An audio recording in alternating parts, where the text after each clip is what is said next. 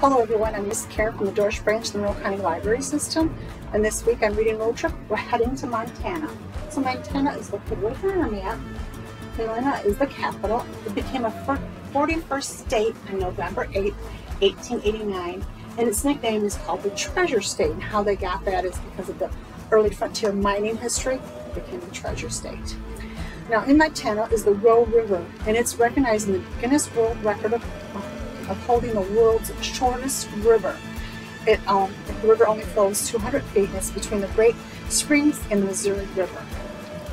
The most visited place in Montana is the um, Glacier National Park and it's the jewel of the continent.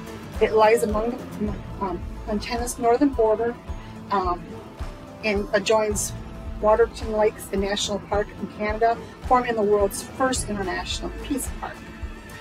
Also in Montana is the Great Springs freshwater. Um, it's considered to be among the largest in the United States. Um, the water bubbles up from under the rocks and then immediately it falls into the river. And it's estimated that the water from the giant springs takes 26 years to travel from under the water to eventually return to the surface. So it takes 26 years to bubble from up and out of the water, of the ground. I thought that was just fascinating. Montana is the only state in the United States with a triple divide. And what that means is that water flows into the Pacific Ocean, the Atlantic Ocean, and also the Hudson Bay. So that's pretty cool. Um, also in Montana is the Grasshopper Glacier.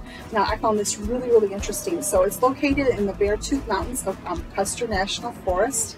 And the glacier has a bizarre appearance and what it is, they're grasshoppers. Actually in the, in the structure of the, the um, ice and everything. And what they thought happened is that there was a swarm of grasshoppers that came over, that migrated over, and then um, in the Rocky Mountains, and then a, a big storm came, and they you know, froze all these grasshoppers into the ice.